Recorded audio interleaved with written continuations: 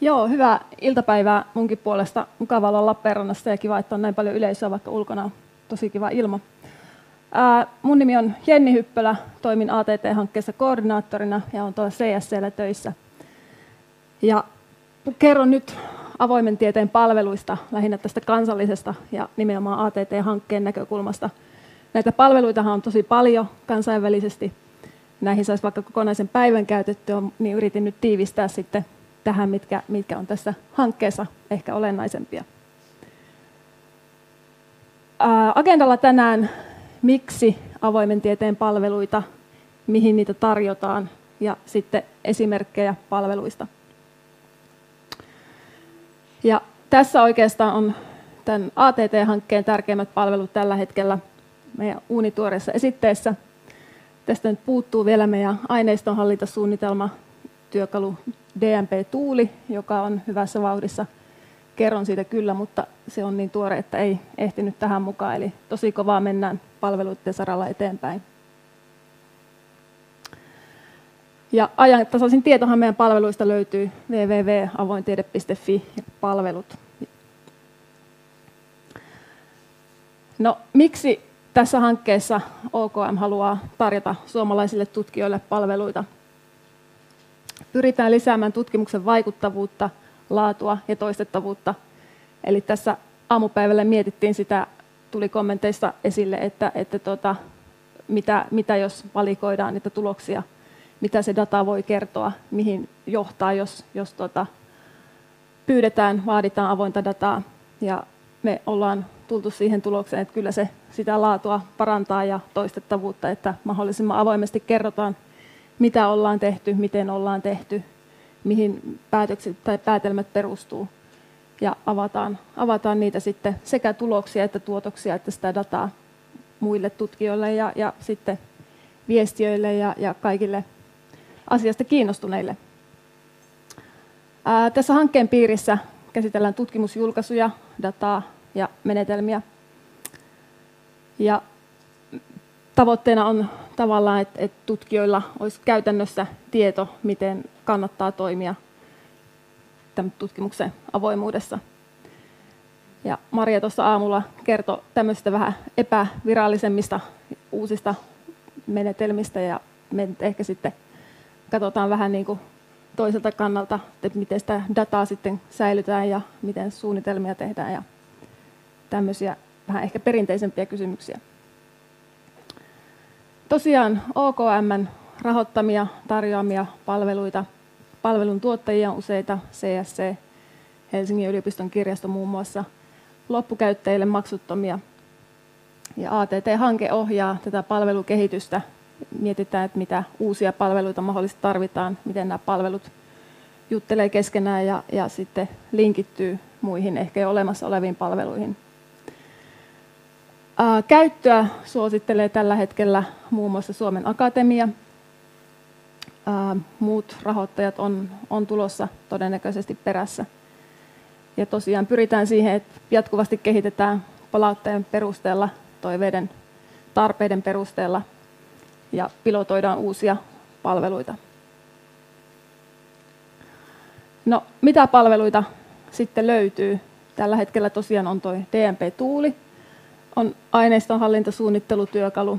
Sitä ollaan tehty tässä nyt viimeisen vuoden aikana varsinkin tosi innokkaasti isolla tai laajalla kokoonpanolla on ollut yliopistoista, tutkimuslaitoksista, rahoittajien edustajia mukana. Sitten IIDA on vähän jo tai on vakiintuneempi palvelu, on tutkimusaineistojen säilytyspalvelu. Ja tämän esityksen jälkeen kahvitauolla kollegani Josefin Nordling pitää tämmöistä IIDA-kliniikkaa tuolla salin peräosassa, eli häneltä voisitte käydä kyselemässä tarkemmin IIDasta. Sitten on AVA, on äh, avointen aineistojen julkaisualusta, niin ikään kollegani Juha-Matti Lehtinen pitää siitä klinikkaa tämän jälkeen. Ja sitten on vielä Etsin tutkimusaineistojen tämmöinen metatietopalvelu. Ja tässä on esitelty lähinnä nämä ATT-hankkeen suoraan rahoittamat palvelut, mutta toki meillä on kansallisesti ja organisaatioissa monta muutakin avoimuutta tukevia palveluita.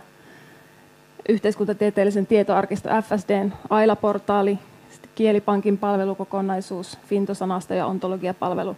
Sitten on nämä organisaatiokohtaiset tai kansalliset julkaisuarkistot ja rinnakkaistallennuspalvelut. Doria Teseus on tänään jo mainittu. No mitä näillä nyt sitten haluttaisiin saada aikaiseksi, mitä, mitä toivotaan, että mitä iloa niistä olisi teille tutkijoille ja tutkimuksen tuen ihmisille. Haluttaisiin helpottaa tutkijoiden tie, tiedonhallintaa, että ne datat ja tärkeät aineistot ja julkaisut ei olisi vain muistitikuilla tai siellä neljännen räkin takana olevassa kolmannessa laatikossa, niin kuin tällä joku tauolla totesi, että aineistot on dumpattu sinne, kun tutkijat lähtee eläkkeelle. Halutaan lisätä tutkimuksen näkyvyyttä ja vaikuttavuutta ja tukea avointa tutkimuskulttuuria. Ja tosiaan niin kuin todettu, niin nämä on loppukäyttäjille, tutkijoille maksuttomia. Sitten pyritään mahdollistamaan avoimen lähdekoodin jatkokäyttöä ja sitten myös tarjoamaan näille tutkimuksen tuotoksille pysyvä osoite. Ja tutkimuksen tuotoksilla tässä nyt tarkoitetaan sekä, sekä julkaisuja että, että tuota, aineistoja, mutta nehän voi olla myös esimerkiksi metodeja tai muuta, mitä siinä tutkimuksen sivutuotteena tai tuloksena on syntynyt. No mitä iloa tästä nyt on tutkijalle sitten? Ei olla niiden USB-tikkujen tai särkyvien kovalevyjen varassa. Pyritään, että datan katoaminen ja väärinkäyttö, väärinkäsin joutuminen vähenee. Sitten, että ne olisi helpot, hel, he, tutkimusta helpottaen järjestelty sitä omaa käyttöä varten jäsennelty, että niitä olisi itse helppo käyttää. Esimerkiksi IIDassa voidaan, tai käyttöä pääsyä pystyy määrittämään, että joko se on sun omassa käytössä tai tutkimusryhmän käytössä tai kollaboraation tutkijoiden käytössä, kuka, kuka sitä nyt sitten tarvii, kelle halutaan oikeudet antaa.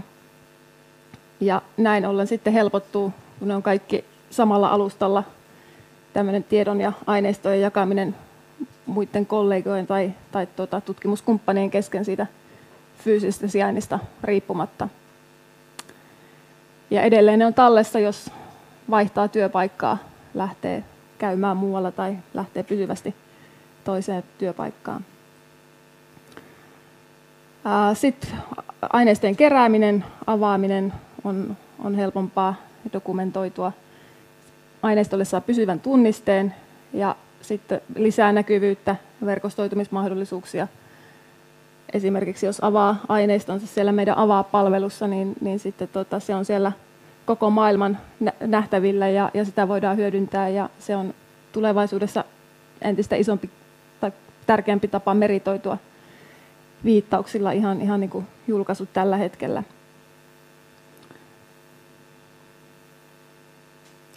No mitä ilo tästä sitten on tutkimusorganisaatiolle? Nämä palvelut, kun tässä on tämmöinen looginen kokonaisuus, se on heti käyttöön otettavissa. Myös organisaation näkyvyys ja löydettävyys paranee, kun aineistoja on, on saatavilla. Säilytys, säilytyksen tärkeys edelleen, edelleen myös organisaation näkökulmasta on, on hyvin tärkeä pointti. Ja sitten tutkimusrahoittajien vasta- vaatimuksiin vastaaminen – Horizon 2020 mainittiin jo, ja myös kotimaisilta rahoittajilta on todennäköisesti tulossa vaatimuksia tähän, tähän liittyen entistä tarkemmin. Esimerkiksi Suomen Akatemiahan suosittelee jo tällä hetkellä tuota, Zenodo-palvelua ja avaa-palvelua aineistojen säilytykseen. Palvelut on, ylläpidetään keskitetysti, asiakastuki on keskitettyä niiden palve- tai aina sen palvelukokonaisuuden osalta, mikä nyt on sitten tietyn palvelutuottajan ylläpitämää. Sitten kun kaikkea ei tarvitse tehdä kaikkea itse, tehdään kansallisesti, niin säästyy raho, rahoja, saadaan synergiaetuja. Ja sitten tietysti lisänäkyvyys nostaa sitä yliopiston profiilia niin kansallisesti kuin kansainvälisesti. Ja tällä hetkellä, kun näitä palveluita kovasti kehitetään ja valmistellaan, niin tässä on, on nyt mahdollisuus päästä sitten vaikuttamaan tämän tutkimuksen tuen infran kehittymiseen. Mä olin kauhean iloinen, että tämä kuva tuli tässä jo aamun ensimmäisessä esityksessä ilmi. Tämä on nyt tämmöinen versio, mistä ei, ei spinnaa mitään vielä, mutta tota, tässä on tosiaan ajateltu tämmöiset kuusi vaihetta. En käy tätä sen tarkemmin läpi, mutta tässä lähinnä se, että, että avoimuus kuuluu jossain määrin näihin kaikkiin vaiheisiin ja se voidaan huomioida kaikissa vaiheissa. Se pitää huomioida kaikissa vaiheissa entistä enemmän. Ja tavoitteena tietysti on, että näihin kaikkiin vaiheisiin olisi sitten olemassa palveluita, jotka toimii keskenään hyvin ja, ja tukee, tukee sitä tutkijan työtä ja tutkimusorganisaatioiden tutkimuksen tuen työtä. No sitten ihan käytännön tasolle mentynä, mitä, mitä tämä kaikki tarkoittaa. Tutkimusaineistojen tulosten avointa jakamista, aineistonhallinnan suunnittelua ja tutkimussuunnitelman yhteydessä, aineistojen keruun käytön, säilytyksen ja jatkokäytön suunnittelemista, hyvää aineistonhallintaa, avointa julkaisua ja datan avaamista. Ja tässä hankkeessahan nyt ei haluta sitä, että mennään ja avataan kaikki mahdollinen kaikille mahdollisille, vaan pyritään semmoiseen fiksuun mahdollisuuksien mukaan jakamiseen. Eli totta kai pitää huomioida lait, määräykset, hyvä tutkimustapa, tutkimusetiikka ja se, mitä voidaan avata, miten voidaan avata, sehän riippuu hirveästi tutkimusalasta. Eli esimerkiksi terveyssosiaalitieteissä näillä tutkimuskohteilla on, on aika paljon oikeuksia, niin kuin tietysti pitää olla, ja, ja henkilötietojen kanssa ei voi pelehtiä, miten, miten sun sattuu, vaan tämmöiset näkökulmat on aina tietysti huomioitava.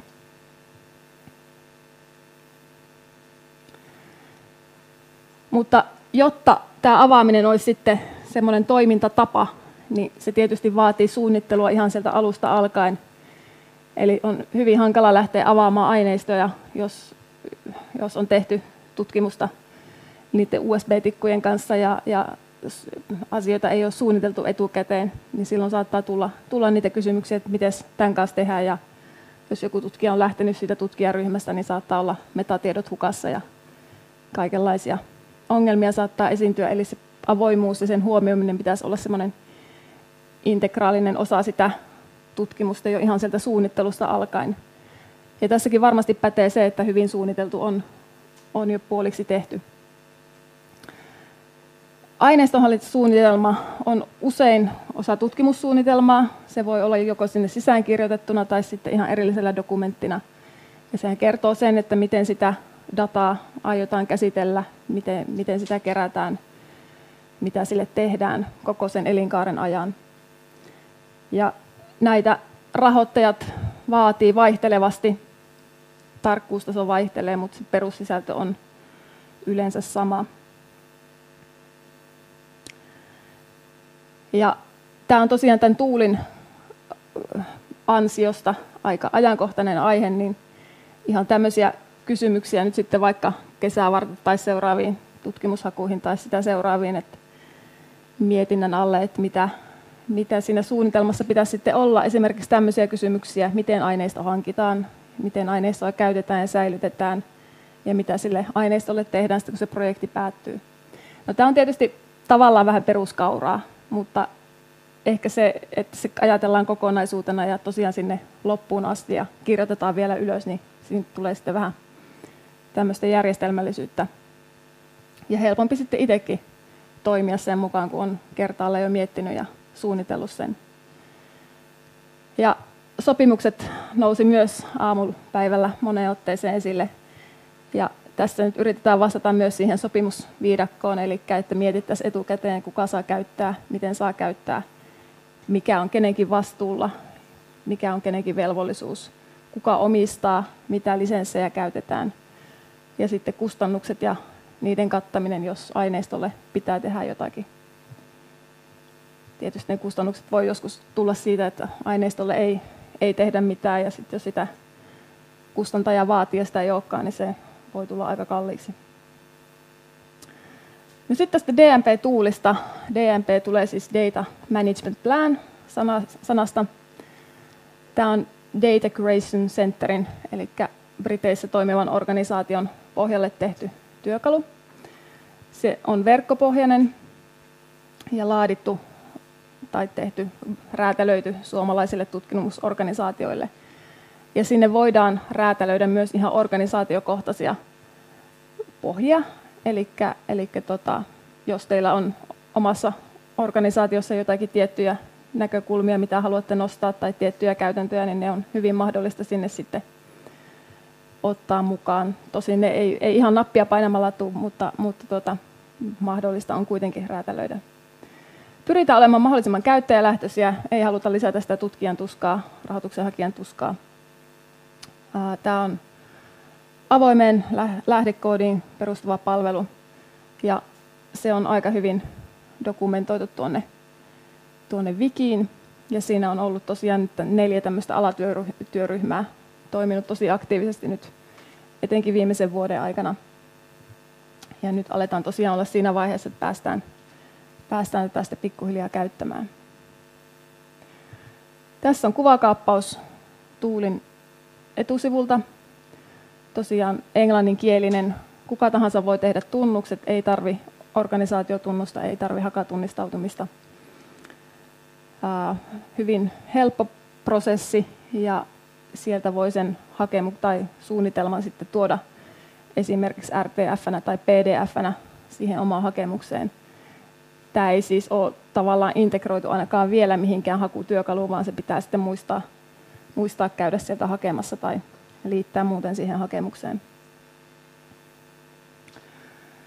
Sitten on IIDA, tutkimusaineistojen säilytyspalvelu.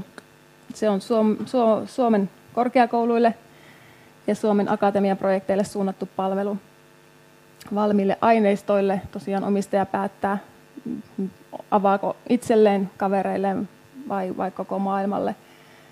Mutta se on niin sen tutkimuksen tekovaiheessakin voi sitä käyttää. Muodostaa osan tulevaa pitkäaikas säilytyspalvelupassia. Tästä nyt ei ole vielä mitään poliitikkoja julkistettu, mutta et ei, ei lähdetä siitä, että kaikki mikä on Iidassa menisi suoraan passiin, mutta että ne toimii sitten hyvin keskenään kuitenkin. Tämä on myös OKM tilaama ja CSN tuottama palvelu. Ja tämä on tosiaan hyvin turvallinen, helppo tapa säilyttää sitä dataa. Se on projektiperustoinen.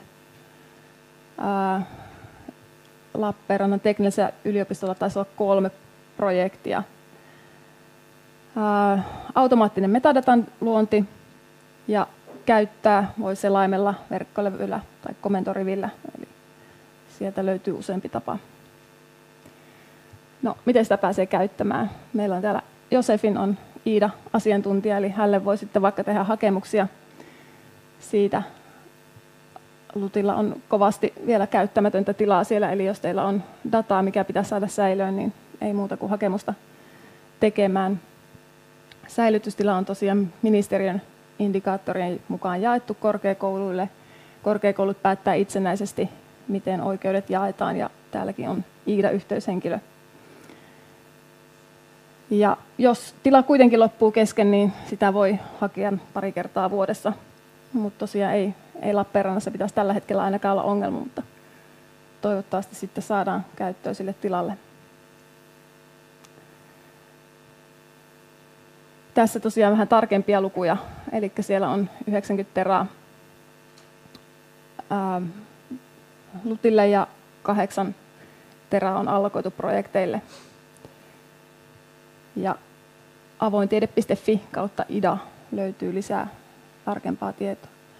Sitten on avaa tämä avointen aineistojen julkaisualusta. Halutaan edistää aineistojen saatavuutta uudelleen käyttöön sopivissa muodoissa Sieltä voi siis hakea aineistoja, sinne voi viedä omia aineistoja. Ja se on hyvin jo käytössä. Siellä on aineistojen lisäksi myös työkaluja lataukseen, analysointiin, visualisointiin. Niitä on räätälöity sinne aineistokohtaisesti. Ja sinne voi tosiaan ehdottaa lisättäväksi aineistoja ja sovelluksia. Ja nyt tosiaan tämän, tämän jälkeen, kun teillä on se oma aineisto, niin nyt joko suoraan esityksen jälkeen käykää Juhamatille kertomassa, niin laitetaan se sinne tai ottakaa yhteyttä myöhemmin. Ja IDA ja AVA tosiaan toimii niin hyvin yhteen, että kun, jos se aineisto on hyvin dokumentoituna siellä IDassa, niin sitten se kyllä saadaan sieltä avaaseen näppärästi. Ja hyödyt alkaa varmaan olla tässä vaiheessa aika itsestään selvät, eli saadaan niitä aineistoja maailmalle, verkottumista, meritoitumista, lisää toiminnallisuuksia siihen dataan, mitä muut voi sitten hyödyntää. Esimerkiksi rajapintajakelu tai visualisointityökaluja. Hyödynnetään avointa lähdekoodia, avoimia rajapintoja ja tosiaan hyvin räätälöityjä työkaluja ja visualisointeja siellä noille aineistoille on tehty.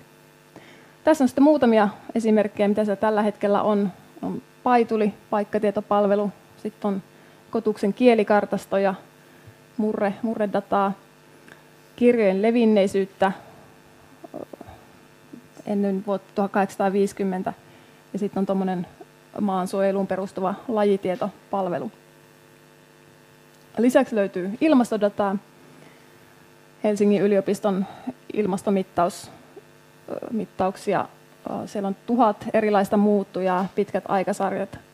Sieltä voi seurata, että miten, miten tota, ilmasto on kehittynyt vai onko se muuttunut, minkälaisia lämpötiloja on ollut, sademääriä, kaikkea mahdollista.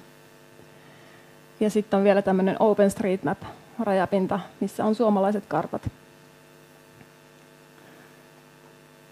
No sitten Etsin on tosiaan tämmöinen metatietohakupalvelu. Etsimeen voi lisätä oman aineiston, vaikka se ei olisi avoin. Eli tässä on vain metatietoja, tiedot niistä aineistoista, ei itse niitä aineistoja. Mutta sitten yllätys, yllätys, tämä toimii avaan kanssa, eli ne avaaseen viedyt aineistot voidaan tietysti luetteloida täällä etsimessä myös. Ja tämä on myös aineistojen omistajille ja käyttäjille, hakijoille.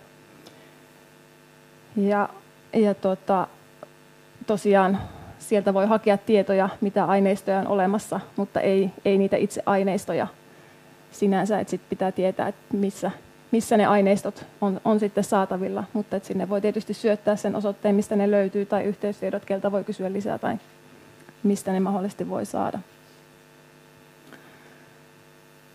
etuna on se, että ne aineistot löytyy, olipa ne tallennettu minne hyvänsä, tiedot niistä löytyy, metatieto lisää taas löydettävyyttä, näkyvyyttä, saadaan pysyvä tunniste aineistoille. Ja tosiaan, kun tallennetaan metatiedot niistä, niin siellä on semmoinen pieni metatietomalli, mihin on pakollisia kenttiä ja, ja sitten sitten tota, kenttiä, jotka ei, ei ole pakollisia, mutta tietysti mitä enemmän tietoa siitä aineistosta voi tallentaa, niin aina, aina parempi. Ja tässä vaiheessa kannattaa ehkä sanoa, että ennen kuin voi tallentaa tietoja, niin ottakaa selvää, että kuka sen aineiston omistaa ja, ja tota, informoikaa myös muita, kellä saattaa olla siihen aineistoon, aineiston oikeuksia ennen kuin laitatte niitä, nimittäin, nimittäin kysytään tuolla. Ja tietysti toivotaan, että mahdollisimman moni näistä aineistoista, joiden tiedot tallennetaan etsimeen, olisi sitten myös avoimia ja muiden käytettävissä. Tässä on etsimän käyttöliittymä, se on myös suomeksi. Siellä on 9500 yli aineistoa, 2600 päälle tagia ja yli 80 alaa, eli varmaan löytyy jokaiselle jotakin tietoja aineistoista. No sitten mitä muita palveluita tai mitä muuta ajankohtaista tässä hankkeessa on, on tämä avoimen tieteen ja tutkimuksen viitearkkitehtuuri, johon nämä palvelut tietysti hyvin läheisesti liittyy, eli mietitään sitä kokonaisuutta, toimintamalleja, palveluita. Sitten hankkeessa on tuotettu tämmöinen Suomen tutkimusinfrastruktuurit, tietopankki, missä on tietoja tutkimusinfroista. Sitä täydennetään tulevaisuudessa. Avoimen tieteen osaajakoulutukset on yksi osa näitä palveluita. Ja sitten on nämä tietokäyttöön projektit, tämmöisiä sisä pienempiä osahankkeita, joista yksi on muun muassa tähän altmetriikkaan liittyvä Turun yliopistossa RUSE-keskus tutkii just tämän altmetriksin kanssa, miten sitä mahdollisesti voitaisiin käyttää Pitkäaikaissäilytyspalvelu mainittiin, ATTX on tämmöinen kokoava palvelu, metatietoeditori on tulossa. Ja sitten edelleen muistutan niistä teidän omista organisaatioiden omista ja yhteisistä rinnakkaisia julkaisupalveluista. Sitten ihan lyhyesti pyydettiin EUDATista. EUDAT on tämmöinen eurooppalainen hanke, joka tarjoaa monenlaisia palveluita datan tallentamiseen ja, ja jakamiseen. Joku kysyy, että miksi sitten on kansallinen tai kansalliset palvelut siinä, siinä sivussa. No, sillä ehkä haetaan tämmöistä kansallista pysyvyyttä ainakin, että ne on sitten myös täällä kotimaassa. Mutta tavoitteena tietysti on, että pystyttäisiin toimimaan, toimimaan sitten yleiseurooppalaisesti. Tällä hetkellä Aalto-yliopistolla on tämmöinen koehanke tuon B2Sharing kanssa, eli he tallentaa, tallentaa sinne datojaan ja, ja niistä tuodaan metatiedot etsimeen. Ja jos haluatte teidän organisaation kanssa lähdetään tämmöistä kokeilemaan, niin se kyllä varmasti onnistuu. Anne Sunikka ja Keijo Helianko on siellä aallon päässä vastuussa ollut tästä erittäin hyvää, hyvää tota, tietoa saa heiltä. Keijo Helianko oli viime osaajakoulutuksessa puhumassa, että löytyy myös hänen esitys tuolta meidän nettisivulta. Sitten yleisesti avoimuuden edistämiseksi sovitaan aineistojen omistajuudesta, käyttöoikeuksista. Sitten huolehditaan, että lisenssoidaan tuotokset, kuvaillaan ne, kerrotaan metatiedot. Sitten mikä se oikea julkaisu tai tallennuskanava kulloinkin on. Tietysti toivotaan, että se olisi aina mahdollisimman avoin. Toivottavasti suomalainen tai meidän hyväksymä palvelu tai suosittelema palvelu. Ja hyödynnetään sitä olemassa olevaa palveluinfraa. Lisätietoa löytyy tuolta meidän palvelusivuilta. Meillä on myös sähköposti avointiede.postit.csc.fi ja sitten CSCn asiakaspalvelu vastaa ehkä tämmöisiin teknisempiin tai tarkempiin kysymyksiin. Mutta tässä oli oikeastaan hyvin tiivis esitys palveluista. Mielelläni kuulisin kysymyksiä, kommentteja.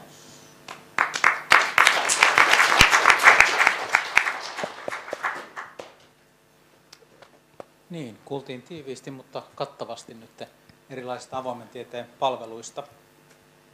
Tämä varmasti herättää kysymyksiä yleisössä.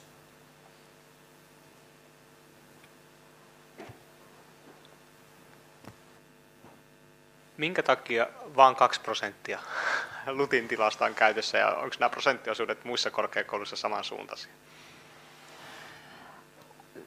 No, tämä on hyvä kysymys, miksi. Mä toivon, toivon, että se johtuu siitä, että tästä ei ole ollut tarpeeksi tietoa ja, ja että se nyt nousee sitten syksyyn mennessä sinne pappiin asti. Mutta tuota, tietysti täytyy muistaa, että, että tuota, saattaa olla omia parempia ratkaisuja tai saattaa olla, että niitä aineistoja ei tule niin paljon, että jos puhutaan hiukkasfysiikan tai geenitutkimuksen tarvitsemista määristä, niin ne on tietysti ihan erilaisia.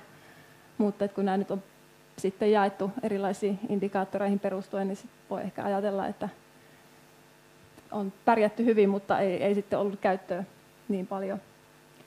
Mutta siis todellakin kannustan, kannustan ottamaan Josefinen yhteyttä ja ja hakemaan sitä tilaa, että sitä kyllä löytyy. Kiitos. Ja mitä, mitä, anteeksi, mitä muista yliopistoista, niin, niin sanotaanko, että jotkut on käyttänyt ehkä vähän paremmin, mutta tota, ei tämä nyt ihan pohjalukema ehkä ole. Joo, minä voisin tästä sanoa, että meillä oli pari vuotta sitten CSC näistä avoimen tieteen palvelusta Iidasta ja näistä silloin ensimmäinen seminaari ja vuostakaperi oli edellinen. Että kyllä tämä nyt jonkin verran tätä tietoakin on, mutta tota, ihan, tämä nyt on kansa, kansallinen tilaisuus, mutta tiedoksi, että Lutiin Iida-yhteyshenkilöhän on tätä nykyään Jari Taipale ja Jariin pitää ottaa yhteyttä. Siinä tehdään ensiksi sellainen käyttöoikeussopimus tietääkseni, että tuolla noissa pajoissa sitten enemmän näistä puhutaan. Mutta sitten tästä DMP-tuulista, niin siinä Lutti on ollut myös kyllä seuraajana siinä. Mä olen siinä työryhmässä ja tässä olisi tarkoitus kevään aikana tehdä Lutin hankeyksikön kanssa sinne niitä Lutin omia ohjeita. Et mulla on tässä mun koneella tämä tuuli auki, että jos tota, tuolla on Iida ja Etsin klinikat, niin mä voin kyllä tässä vilauttaa tätä tuulia. Loistavaa, kiitos. Tähän täytyy vielä sanoa, että, että tietoa, tietoa kyllä varmasti on ja sitä on jaettu, mutta ymmärrän sen, että tutkijat ei ehkä, tai tutkijoille tulee hirveästi tietoa erilaisista asioista ja niitä ei ehkä ajattele siinä ja sitten ei välttämättä muista, kun se tarve tulisi. Eli, eli tota, tietysti kovasti toivotaan, että myös tutkijat kiinnostuisivat siinä määrin, että ottaisivat sen hetken ja palvelun käyttöön. No niin, oliko muita kysymyksiä? Miten tämä kaikki näyttäytyy vaikka horisonttihankkeeseen osallistujalle, että tota, mitä te suosittelette? Tuohon saa niin kuin, tavallaan tämän eurooppalaisen tason ja kansallisen tason niin kuin, haltuun kerralta. Heitä ole käsitin, että niitä on synkattu. Mm. No siis eh, horisontti-osallistujalle tämä näyttäytyy sillä lailla, että käytän näitä. että, että ne on ihan kaikkien tutkijoiden käytettävissä ja ne ei ole mitenkään ristiriidassa sen horisontin vaatimusten suhteen päin, päinvastoin. Että, että siellähän taitaa olla, että edellytetään aineistoja tai tota, anteeksi, avoimia julkaisuja mahdollisuuksien mukaan ja suositellaan, pilotoidaan datan avaamista, mutta ei kerrota, että mikä, mikä on oikea tapa. Että tämä nyt on tämmöinen kansallinen, todennäköisesti pysyvä, pysyvähkö ratkaisu. Että tietysti esimerkiksi kustantajat tarjoavat vastaavia palveluita, mutta et sit niistä ei ole mitään takeita, että miten kauan ne kestää jos on tällainen konsortiohanke, jossa on eri puolet Eurooppaa näitä, niin kaikki tietää, miten Suomessa toimitaan, että onko tässä sellaista synkkaa, että näyttäytyykö tämä samalla lailla espanjalaiselle tutkimusryhmälle ja suomalaiselle tutkimusryhmälle, että onko siitä jonkinlaiset eurooppalaiset standardit olemassa, että miten toimitaan, ja Suomessa se on tavallaan tämä. No, e- Tästä sen tiedon voi jakaa kollegoiden kanssa.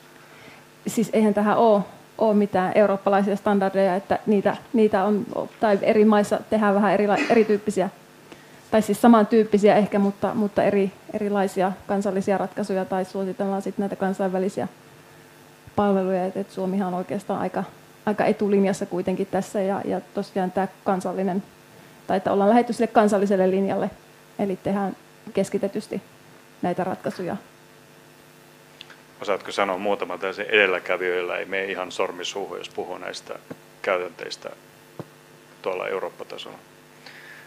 Jotain maita tai jossa, jotka on olleet referenssejä Suomelle? No en tiedä, onko, onko referenssejä, mutta että Hollantihan esimerkiksi, Briteissä ollaan pitkällä tämän suhteen ja, ja tietysti Pohjoismaiden kanssa tehdään, tehdään jonkun verran yhteistyötä tai, tai seurataan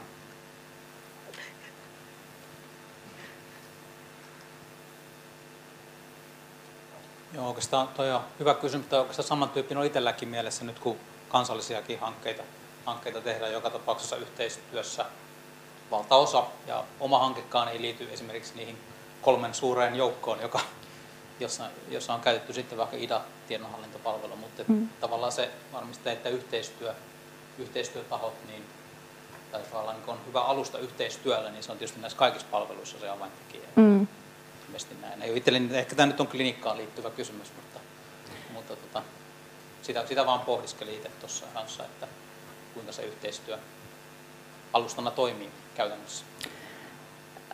Siis käytännössähän esimerkiksi... Jos on avointa, sitten tietysti kaikki pääsee sinne. Niin, niin siis esimerkiksi idassa, mikä nyt ehkä, ehkä on tässä, tässä niin yhteistyössä se, niin sinne on tunnistautuminen joko hakatunnistuksella tai sitten CSCn käyttäjätunnuksella ja että kun se on suomalaisille korkeakouluille, Suomen Akatemian hankkeille suunnattu, että siinä tavallaan tai vaaditaan se suomalainen intressi ja osapuoli siihen, mutta että kyllä tämä niin lähtökohta on, on se, että tuetaan suomalaista tutkimusta ja suomalaista koko sitä mm, ekosysteemiä siinä, että, että en, en, en tiedä, onko sitä niin konkreettisesti tämmöistä keissiä, että sitä olisi ihan oikeasti pitänyt alkaa miettimään, miettimään että ketä sinne tai kenelle sillä voidaan antaa tilaa, koska sitä nyt on on aika paljon siellä jaettavana niin, että ehkä sitten jos olisi, pitäisi niukkuutta jakaa, niin asia olisi vähän eri. Mutta